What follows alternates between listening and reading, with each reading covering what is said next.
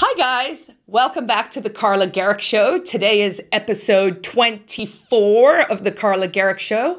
And today we will be doing part two of the series From the Apartheid State to the Free State, a podcast I recorded last fall with The Honest Offense. In today's episode, uh, you'll recall that we left it in a cliffhanger with my Coming to America story. So we'll be covering a bit about that this week. Uh, you'll learn a little bit about the green card lottery and how I moved to America with two suitcases, $7,000, one brand new husband, and ended up in the Tenderloin, which is a inner city slum in San Francisco. So you'll learn a little bit about my immigrant story and uh, and genuinely like how and why I learned about the Free State Project and why I choose to call New Hampshire home. So I hope you enjoy this episode 24 of the Carla Gericke Show, kicking off with part two of the series From the Apartheid State to the Free State. Thanks for joining me, and remember, together we can live free and thrive. So, when you came to America, what was your plan? How old were you? And then what was your plan career wise? Um, so I was probably, I think I was 24, so I was still fairly young. And, you know, I'm unusual in the sense that I actually finished high school when I was 16 and I finished law school before I was 21. And in fact, in South Africa, you had to be 21 to be licensed as an attorney. And there was this tick-tock time thing happening because when they activate your green card, you have like a year to move. You have to come once to America to activate it and then go back, plan your move, and then you have a year to come back. And so all these things were sort of happening in that same window of time. And um, and so I finished high school early and, and law school early. And we knew that we needed to come someplace where, uh, you know, so first of all, you look at the map of America and you're like, where do we go? You know, so I mean, initially we literally put it on a wall and threw darts, and the dart landed on Eureka, California. And okay. then I was like, where is this? You know, and this pre-internet, so now you got to go to the library, yeah. you know, the whole thing. So we're like, okay, Eureka's not for us, but let's look at the rest of California. And when we had taken that initial trip, we came out and we kind of went to New York. We went to Silicon Valley. We looked at uh, the Baltimore area, I think maybe DC. You know, so we we looked around, and California just made the best sense for us. I wouldn't have to retake the bar. Uh, uh I wouldn't have to go back to law school. I could just take the bar exam.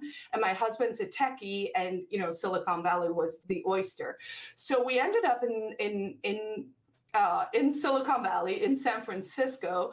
Of course, everyone has a good immigrant story. So, so mine is, you know, two suitcases, no money. You don't literally, you don't know anyone, right? Like I knew right. my sister and she was in Jersey, and other than that, it was like, so we had seven thousand dollars, I think, and like two suitcases. So we're staying in a motel in Chinatown, San Francisco, and we're trying to find a place to stay. But you know, if you've got seven thousand dollars and no jobs, you don't want to pay a thousand or two thousand dollars a month in rent, right? Right. So we find this apartment. And I'm like, well, it's in this neighborhood called the Tenderloin. And we're like, oh, it's just next to the Hyatt, you know. So the Tenderloin, for your viewers who are familiar, it's literally just maybe six blocks by six blocks, but it's this ghetto in the middle of San Francisco. It's actually, it has gentrified because Twitter actually opened an office there. But at this time, we are talking, there was a crack house in our basement. Oh, the day after we moved in, I was like, is that a bullet hole? And then we were like, after two weeks, I was like, God, what is that smell? It was disgusting.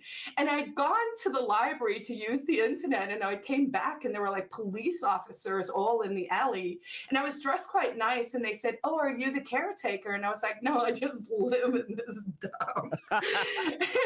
and and the police, and I was like, But why? And the police officer goes, Oh, because we got a dead guy in like 27 or whatever. And I was like, okay, first of all, at least now I know what the smell oh, is. but say, you know, and I'm a very curious person. So I can't lie. I was like, hmm. What happened? What is a dead? Yeah, well, no, I didn't even. Oh, okay. I was like, what does a dead person look like? And I was like, oh, do I want to? And, and I actually said to the officer, I said, well, how dead is he? and he goes, maggot dead. And i was like no i'm out i'm out right? Uh, so it was pretty gnarly those first yeah. three months. You know our bathroom our bathtub was in the kitchen. I mean it was like the real immigrant experience. Right. so we used those three months. Um, i got a job initially, I think it was uh, my first job was working for Wilson Sonsini, which is a big law firm, and uh, and I was just doing discovery. Like I was in a big warehouse with boxes, and my job was to look for this one name. I don't remember what the name was, but I remember I was like, oh my god, I'm getting twenty five dollars an hour to just sit here and like read. Like that was a fortune for me. and and Louis got a great job, and then we, you know incrementally moved from the tenderloin to like a very vanilla, literally beige. Everything was beige townhouse, and you know, uh, down in, in San uh, San Jose, and then Los Gatos, and then back to the city for the dot com boom and bust. So you know, that's sort of the, the, the story, I guess, in a nutshell. I have to say, you are the literal opposite of a pessimist. If you can make discovery seem like an exciting job, because I, I did, I had to do some discovery work kind of when I was in between jobs. I basically did what you did, except it was e discoveries on the computer, and you're just going through email after email after email, looking for a specific term or phrase, or you yep. just have to categorize the emails one thing or the other. And yeah, it was basically a machine, right? all day long, and and you're yeah, like you're on an hourly wage. You're you're not getting benefits, and so you you kind of just brush right past that. It made it seem great. I just had to bring that point up because it was the worst job I've ever had. So it's just it's incredible you were able to to look at it that way. Yeah, and honestly, you know, I knew that there were steps that had to be taken. Actually, I finished that job and then very fortunately got a job at Apple Computer. And, you know, that was while I was taking the bar exam. Uh, I had to do bar review classes, obviously coming from an entirely different or similar, but not the same legal system because I did petition the court and make a very compelling argument that it was the same enough that they should just let me in. Um, and you know, so at Apple, I actually worked on on the acquisition of Next when Steve Jobs oh, yeah. came back to Apple. So I was lucky because I got the job there during the time that no one wanted to work there. Apple was kind of unpopular, and it was like, oh, it, it was a has-been company. But then Steve came back, and I just happened to you know get caught up in that thing. So I ended up you know working for really big Fortune 500 law for uh, not law firms companies, Logitech kind of regret leaving Logitech to go to the tech startup that was going to make me a millionaire that did not pan out. But, you know, live and learn. That's really the Silicon Valley story. You know, yeah. everyone thinks the story is becoming a billionaire. This for 99% mm-hmm. of people, it's I'm going to this company that's going to make me a billionaire. And, oh, and it doesn't work. pan out. Yeah. Logitech or Apple. Right. I, I want to rewind a little bit because you mentioned, you know, the green card lottery, and that's it's a phrase I've heard, everyone's heard. I don't really understand exactly how it works. Was it basically, like you said, your family put your name in to live in America, and they ended up giving you a call saying, "Hey, you won, and now you can come to America"? Is that really as straightforward as it as it went? I mean, that's kind of it. So the way it works is uh, the program itself is called the Diversity Lottery, Visa Lottery, and they give out twenty five thousand per year. And I think the program may have stopped. I haven't checked in a while, but the thinking was that for any country that had a historically low immigration rate to America, so specifically don't hold this against me. They were excluding the Irish. they were like, no more Irish. America's closed to the Irish. Um, but they would, you know, typically try and find countries. And, and they called it a diversity lottery, which in some ways seems like nonsense because I was like, really? Does America need one more white lawyer? Right do? But whatever. I was super grateful, right? Um, so you fill out. It's you type up one page, and it has your name. You declare that you've finished high school, and then it has your address. I think because it was literally I got a thing in the mail, and if I recall correctly, I think in the year I applied, it was like they got 30 million applicants and they they pull what they said is they just pull out like 25,000. Wow. Now, I do think there were designations like South Africa got 2,000 out of the 25,000 or whatever that is, like whatever magic sauce, sausage making they're doing there at the INS, right? But be that as it may, I know someone somewhere is super regretting letting me in. and we, we haven't gotten to why yet. So I do I want to bridge that gap between. Uh, so I know you know you worked at, at Apple, you were working for these big companies, working at Wilson Sonsini, a big Silicon Valley tech firm. So you're kind of on that route. I know eventually you became an activist and you're running the Free State Project in New Hampshire. Bridge that gap for me. How did you how did you get from point A to point B? That is an excellent question. So in 2000, right, was more or less when the dot com bubble exploded. So our experience was very much like, oh, we came with two suitcases and, you know, or $7,000 in, in the Tenderloin and then worked our way up. But part of that working up thing was a very maladjusted economy. The Silicon Valley was getting all this sort of every every 10 years i guess they create a bubble and it goes somewhere. So that time it was the silicon valley bubble. So it was the tech bubble it was the internet bubble.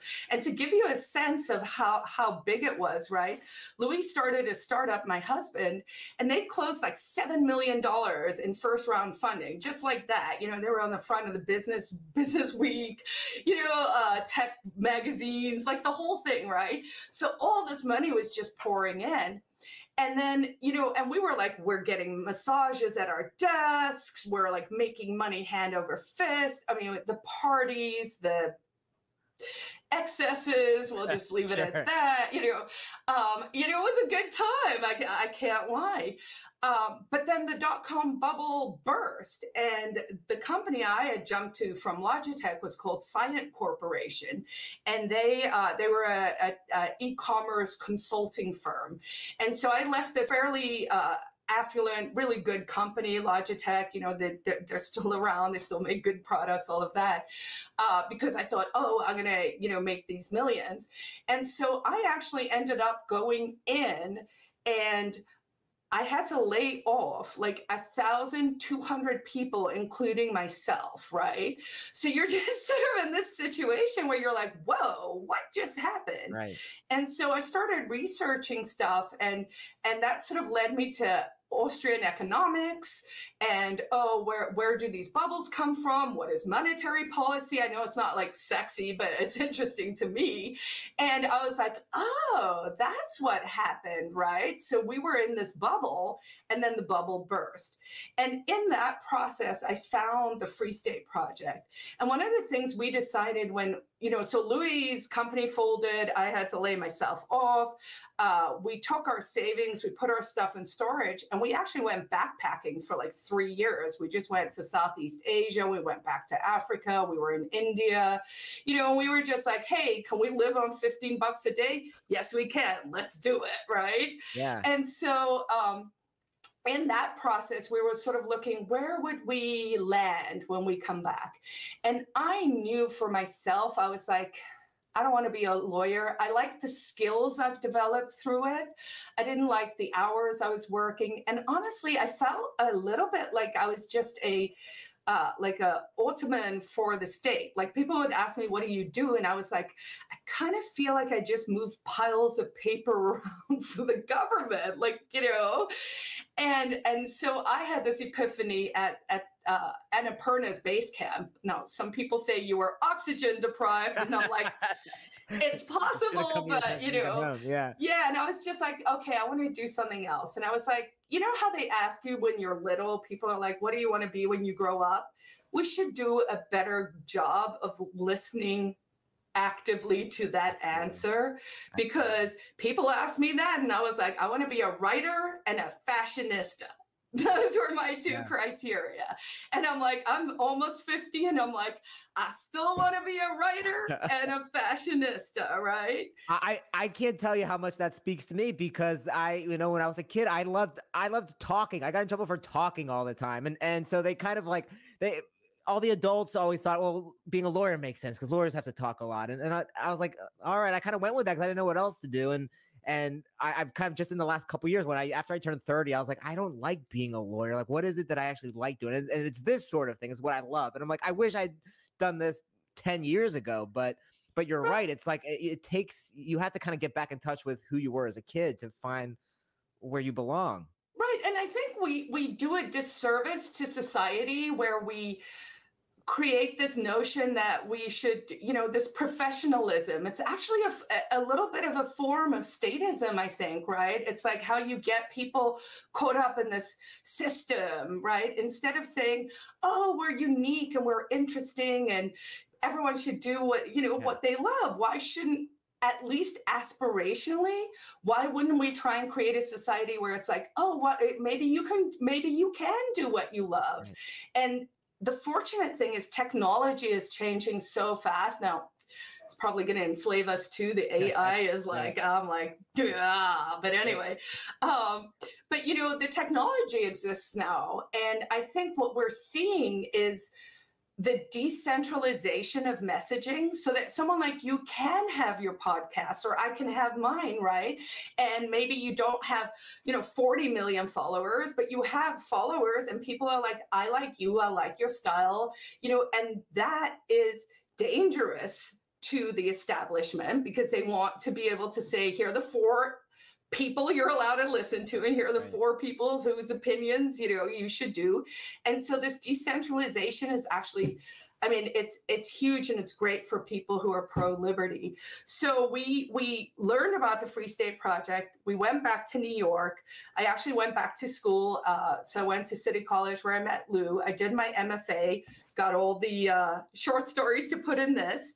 And then we started coming to New Hampshire during that time to just kind of check it out. You know, it's more rural. I was kind of like right. a city girl. What's yeah. going to be like, you know?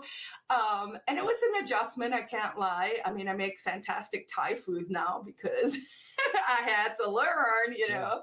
Yeah. Um, but but yeah we knew we wanted to come and so we came we started to meet the community and i'm very solution driven like i don't want to it's not even that I'm solution driven. My time is very precious to me. I think the most important thing people can realize is your time is your life. So when you're looking at your calendar, it's like, how are you spending your time? Because that's literally your life. That's right. your living, right? And so I wanted to make sure that my time really mattered. And when we came to New Hampshire, it was just, it was a really good fit. They asked me to uh, to to do PorcFest one year as a volunteer. I did that. It was very successful. They were like, "Oh, this girl's got some skills. Let's uh, let's rope her in." And then you know, kind of went from there. So let's let's define what we're throwing a lot of terms. Free State Project PorcFest. Most yeah. of my audience is non-libertarian, so all the libertarians listening probably know exactly what we're talking about. But no, not even all of them yeah. do. So yeah. So so yeah. So let's let's. Can you explain what the Free State Project is? Sure. So the Free State Project is a movement of libertarians and liberty lovers. So people who really like value liberty and individualism and property rights and that kind of stuff. And so about 20 years ago, this guy called Jason Sorens, he was a Yale student at the time, and he wrote this paper uh, saying, you know, libertarians are never going to win anywhere because we're too dispersed. Uh, it's not, you know, everyone's flavor of life. Uh, what would happen if we all concentrated in one place? And so, you know, in 2003, they took a vote. There were 10 different states you could pick from, and New Hampshire won. And so people said, okay, we're kind of creating this libertarian mecca or this one destination that people who are liberty forward, who really do care about this as a as a leading living principle, right? Um, we should all start to concentrate together so that we can uh, you know have a smaller more limited government. We could have more economic prosperity uh, dynamic sort of entrepreneurial environment. So the free state project was born and so we've been around now i think it's like 18 years 19 years and people have been moving for all of that time we're seeing a massive growth now of course because i mean it's sad to say but it's like totalitarianism is good for business you know right.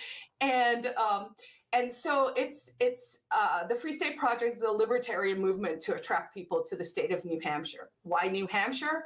Low taxes, no personal income tax, really large legislative body. So the House is like 400 people, oh, wow. and in a state where we only have about 1.2 million people, you like you represent 3000 people. Like when i go out i run into my reps. I was at a qualified immunity conference the other day and there were 50 60 people and i was like more i think like 10 were not sitting legislators. So just the access of being like, there's the ACLU, there's this organization, here are all these reps, you know, so it's very accessible. And then the quality of living here is just phenomenal. And New Hampshire is incredibly beautiful and it has a little bit of everything. So it has cities, it has rural areas. We have a short coastline. We're going to have to annex Maine one day, but shh, don't tell anyone for a nice long coastline. But um, but it's just a great place, and it's honestly it always wins either first or second place for the freest state in uh, in America, and then also for the best quality of living. There's a huge homeschooling community. The schools are still pretty good here, although that seems to be going in a, in, in a not the best direction currently. But it's just uh, it's it, it feels like the Switzerland of America, and it's this like kind of best kept secret, which I'm constantly torn about. Like, should we make more noise or should we just sneak under the radar? right.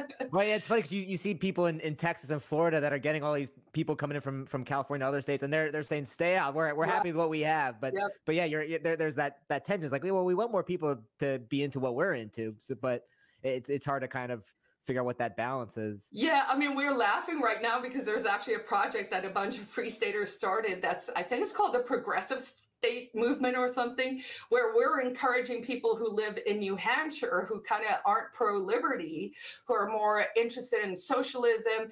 And, you know, there's nothing wrong with socialism except the economic basis right. of it. Like, we all like people, we all want no one to suffer. It's not like libertarians are monsters who are like, ah, ha, ha, ha, right? Like, you're like, no, I want, I, right?